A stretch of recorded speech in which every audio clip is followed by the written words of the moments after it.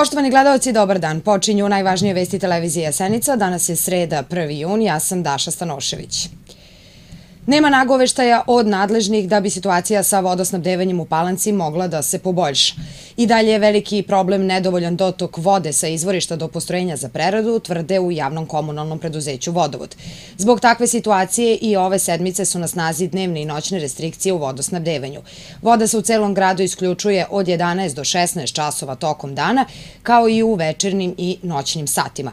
Uveče od 20 do 22 časa, prvo u višima, potom i u nižim delovima grada i u zavisnosti od potrošnje, pa do 5 sati ujutru. Dotok vode je mali sa oba izvorište. Iz Trnovča dotiče manje vode nego što je uobičajeno i što je potrebno, dok e, na izvorištu u Palanci nisu svi bunari u funkciji, pa se prerađuju znatno manje količine vode. Tako kažu nadležni u vodovodu uz apostrofiranje hroničnog problema sa gubicima vode kroz mrežu zbog pucanja cevi i dotrajalih instalacija.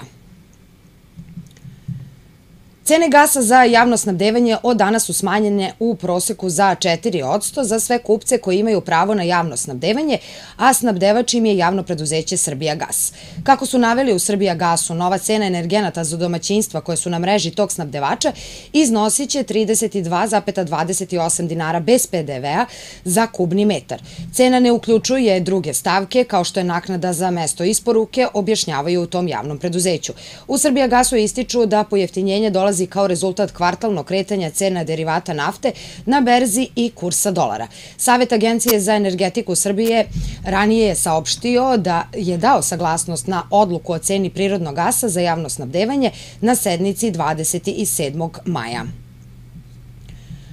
Lista lekova koji se izdaju na recept o trošku obaveznog osiguranja mogla bi biti proširena za 220 medikamenata ukoliko Ministarstvo zdravlja da saglasnost na usvojeni pravilnik Upravnog odbora Republičkog fonda za zdravstveno osiguranje.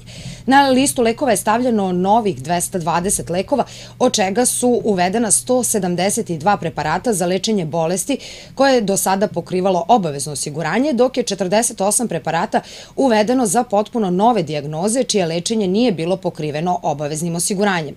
Izmenama pravilnika omogućena je i dostupnost za decu svih antibiotika u obliku tableta i kapsula bez plaćanja participacije, a ovi antibiotici biće dostupni i u obliku sirupa. Osim antibiotika, deci će biti dostupni i lekovi za alergije. Završna priredba predškolaca svih vrtića u okviru predškolske ustanove Čikajova Zmaj biće održana u hali osnovne škole Vuk Karadžić danas i sutra od 18 časova. Svoju kreativnost i maštovitost kroz zanimljive koreografije pokazat će mališani predškolskog uzrasta uz pomoć vaspitača. Nastupit će deca iz svih gradskih i seoskih vrtića. Večera sa početkom u 18 časova ansambl dečije scene Palanačkog pozorišta izveće u humanitarne svrhe predstavu Svinjareva tajna. Sav prihod od prodatih ulaznica biće prosleđen za lečenje Nikole Krsmanovića koji boluje od leukemije. Cena ulaznice je stotinu dinara, a iz kulturnog centra pozivaju sve ljude dobre volje da dođu u što većem broju, pokažu humanost na delu i pruže pomoć onima kojima je ona najpotrebnija. Večeras u 19 časova u prostorijama osnovne škole Radomir Lazić u Azanji biće održana promocija knjige Smederevski kraj u drugom svetskom ratu autora Nemanje Devića.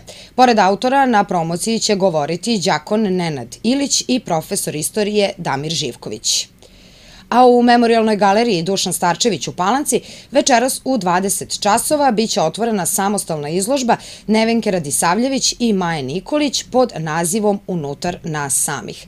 I za kraj o vremenu. Sutra u Palanci promenljivo oblačno uz moguće popodnevne pljuskove. Maksimalna očekivana temperatura iznosit će 24 stepena. Poštovani gledalci, bile su ovo Vesti televizija Senica. Zahvaljujem se na pažnji i želim vam prijatan dan.